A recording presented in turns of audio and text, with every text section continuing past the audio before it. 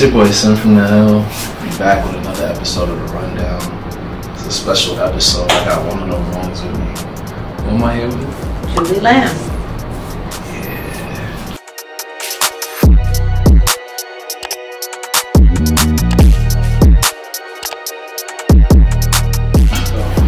Julie, tell me about yourself. Tell me who you are and what you do in your own. I'm a jewelry designer here in New York City, making almost everything here um, in these couple of blocks that we're sitting in, in the Diamond District. Um, born and bred New Yorker, and that comes through my work. Yes, it does. Yes, it does. Um, in terms of where we are, uh, what is the significance? Oh, this physical space. Uh, this is my little showroom, my little space. So I am uh, with a, a jeweler and a good, very good friend of mine who I respect, who I've known for many, many years. Actually, you can pre, you should feature this guy, uh, Americo Izzo, and he might stop and say hi anyway.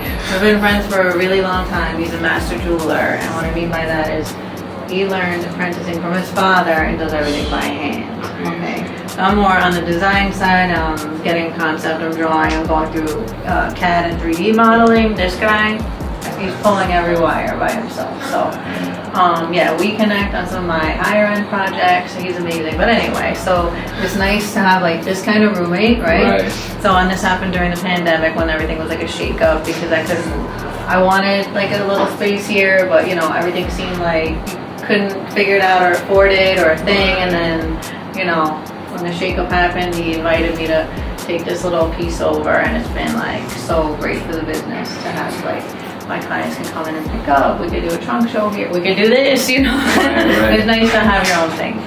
Right. And in terms of um, the you know the neighborhood, in Yes. terms of like your relevance to that.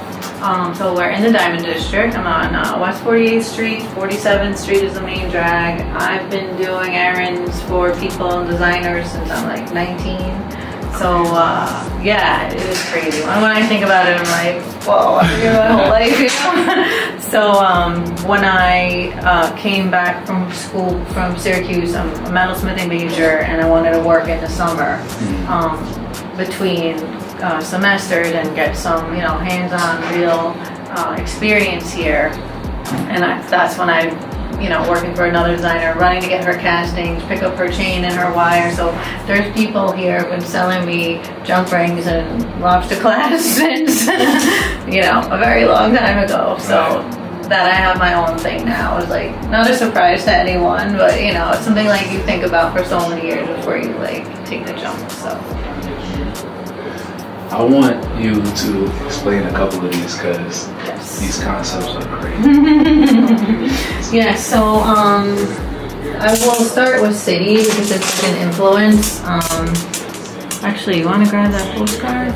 Yeah, so city is about New York City and right where we are, like I was talking about. So one of the original designs was uh, the manhole cover, um, and then the back it says "Made in New York by New Yorkers" because I was really like wanted to make I worked for all these big companies and we'd send things overseas and I'd go to China twice a year for many years and I just love the idea of like oh my god this is locally made you know I, I just think it's so cool so um manhole covers and then all the tokens and I have different styles of these. So before there was a Metro card there were funny little coins. And um, like my dad was working in the garment district and he'd have to carry tokens. And Right. like you know my first experiences were on the train or like going to the garment district with him.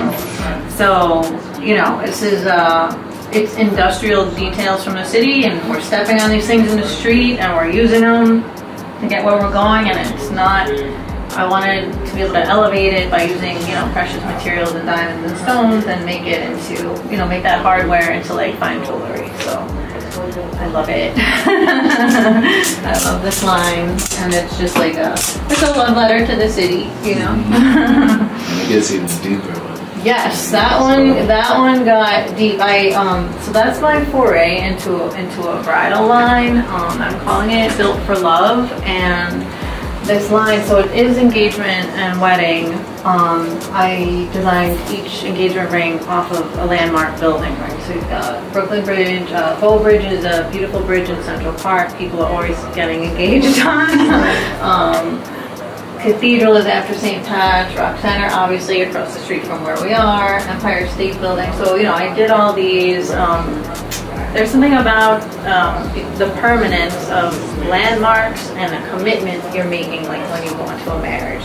So those were the things I was fooling around with, other than the architecture, because you know I like my words. Right. so when I'm sitting there, I'm designing and putting the, the storyline together kind of at the same time. It's equally important to me, in the drawing and, and the words that I'm going to use. So um, um, bridal for us in the jewelry industry is the bread and butter. It's very saturated. You can do a ring a million different ways, and everyone has. I didn't want to touch it until I could make it my own. So that was my way to bring it back to my overall branding was to New Yorkify it. Right. if that's a word. Wow, it is now. love it. I love it. yeah. So there's kind of influences like that.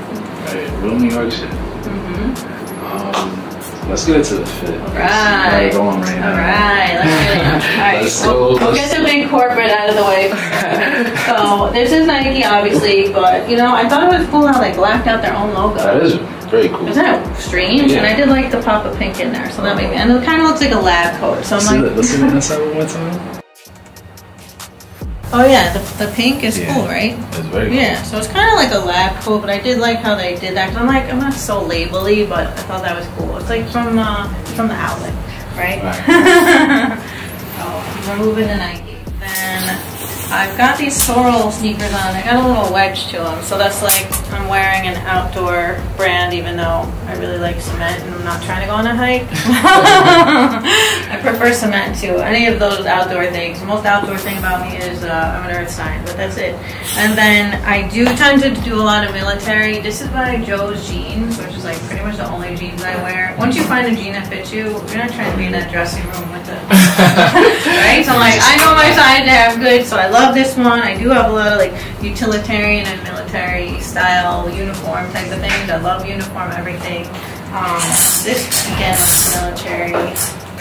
This is bandolier. I should be selling these. Um, it's great for people in the Diamond District when you're putting your little stuff in there. You get like a hiding pack back there. I don't have to look for my phone. That makes me crazy. I'm not doing it. I wear this. Uh, what else do I have? All the pieces except for the jewels. so I probably have lots of collections on. Um, one of a kind. That could be anything I want. That's where I have a really good time. Uh, this is from Elements. Uh, Teardrop Glamour Cuff. I wear this with everything. Um, this is a new. This is from my BU collection. You see that lamb? That's my logo. That's my last name. He's very fancy here with a giant emerald, which is my birthstone.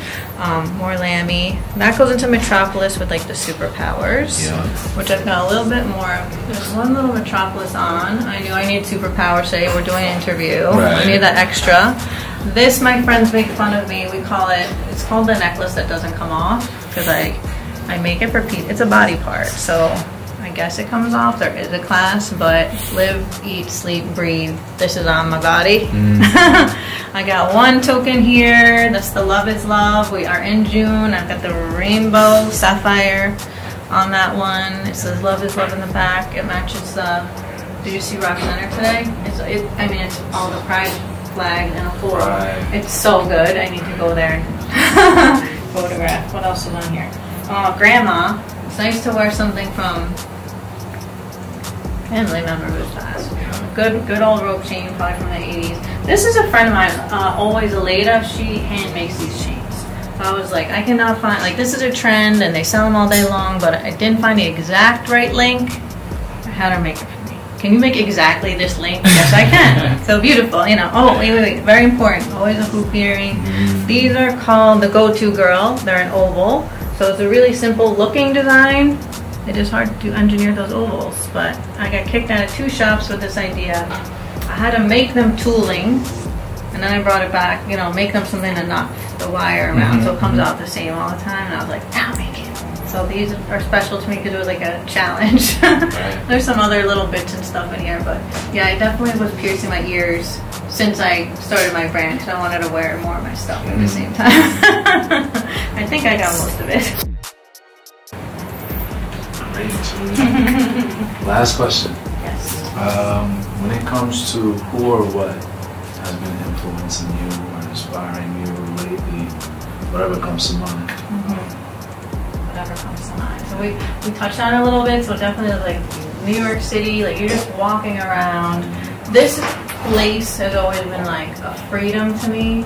Like I grew up in Canarsie. I wasn't really vibing with that neighborhood so much. Um, it was different than it is now, and I like I was like I can draw, and I ran away to art design high school, and that opened my mind up and my friend base up, and my you know we were bouncing around all the boroughs now. We're just like so much bigger here. So this place and me walking around in it and the details I'm picking up is like definitely the muse. And then sometimes it's uh, something somebody says to me and I take it out into a concept and I guess I spend a lot of time in my own head, but other creatives that I play with, you know, like it could be jewelry designer friends will run a new line by me.